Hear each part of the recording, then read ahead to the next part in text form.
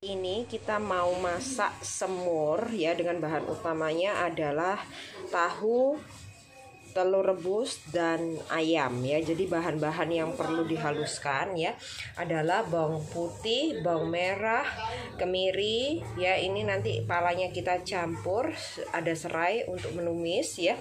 Kita gunakan air secukupnya ada kecap manis ada merica ada garam dan kaldu jamur ya karena saya nggak pakai vicin. Nah sekarang yuk kita mulai untuk memasak. Kita siapkan bumbu halusnya teman-teman.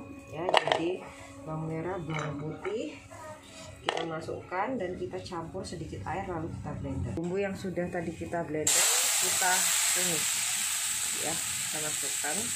Dan jangan lupa kita masukkan serai yang tadi sudah digebrak ya. Jadi ini kita tumis sampai halus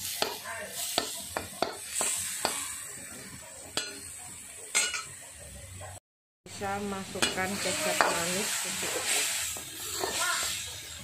Tambahkan air secukupnya dan jangan lupa dimasukkan palanya. Dan kita akan masukkan ayamnya terlebih dahulu. Ya jadi ini ayamnya bersih sudah saya cuci ya teman-teman.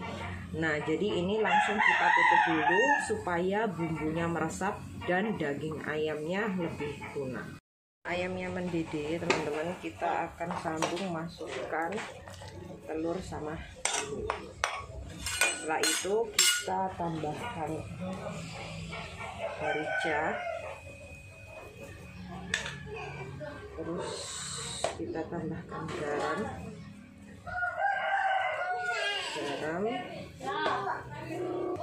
terus kita tambahkan kaldu bubuk. Hanya meresap ya kita tes. Kalau misalnya rasa kurang kecap teman-teman bisa tambahin kecapnya